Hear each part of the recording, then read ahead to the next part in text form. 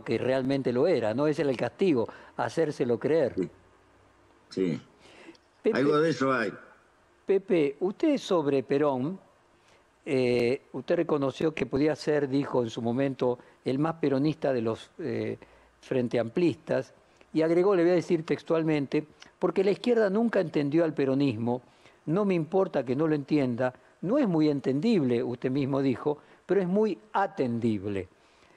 ¿Podría profundizar en esa diferencia de que algo puede no ser entendible, pero ser atendible? Intuyo que debe tener que ver con los sentimientos, con otro orden del pensamiento que no es la razón, pero que los sentimientos también ordenan la vida de las personas.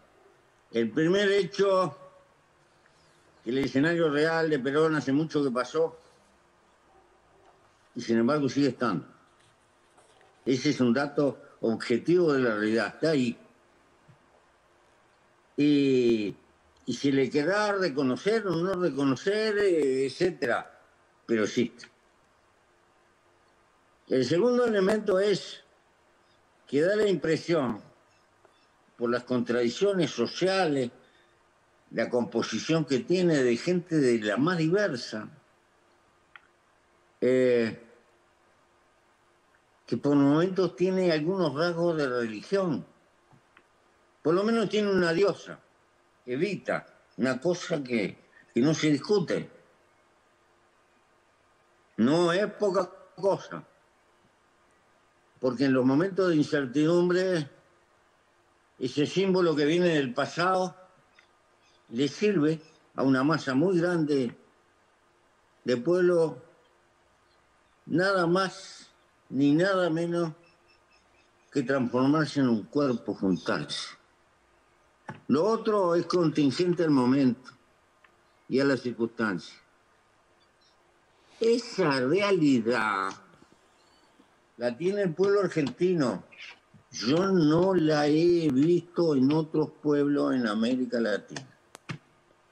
¿Y esa es una fortaleza, es una debilidad, eh, el convertir casi en religión eh, a un partido político? Eh, es eh, una oportunidad para un pueblo o es una amenaza? Seguramente que es las dos cosas.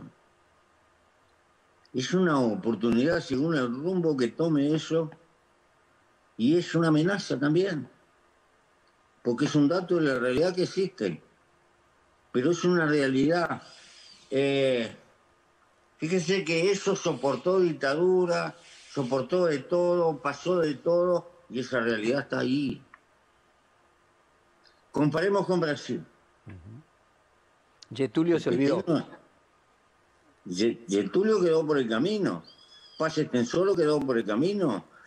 Este, eh, el APRA, ni se acuerdan los, muchachos de lo que fue, de la historia de América. Este, ¿Quién se acuerda de Cárdenas? Eh, etcétera etcétera. Yo podría seguir hablando. Eh, entonces, es muy fuerte esa realidad que tiene la Argentina. Ahora, ¿cuál es el problema? Con esta realidad, ¿qué hacemos? Por eso he dicho, tiene que hablar y tiene que dialogar. Porque esa realidad no se disuelve con fuegos artificiales o con insultos esa realidad tiene que estar incorporada. La política tiene que empezar por reconocer la realidad. Y así como está eso que se llama peronismo, lleno de contradicciones, pero que componen algo, hay un anti que es consecuencia de este, eh, que también existe.